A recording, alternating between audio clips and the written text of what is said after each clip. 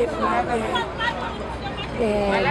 was going to visit a tent and and she went out and three guys kept her and raped her. Right now she's alone and sometimes it's very difficult for her to live in this camp because she's alone in a tent and she's afraid because everybody every day they're coming to try to rape her again even if she's pregnant.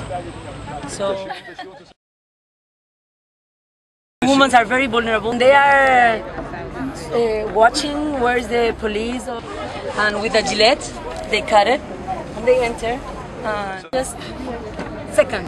This camp doesn't have any protection at, night. They are doing the patrols over there in the front. In five seconds ten seconds they, you have someone that is raping another girl in the middle of the tent and i know all of them because i'm the one that treats the cases personally very confidentially and they have someone that they trust. Madame Anna, est-ce que nous avons dossier pour la crèche Oui. Même là, nous avons Madame Anna. Anale, nous déactons, anale,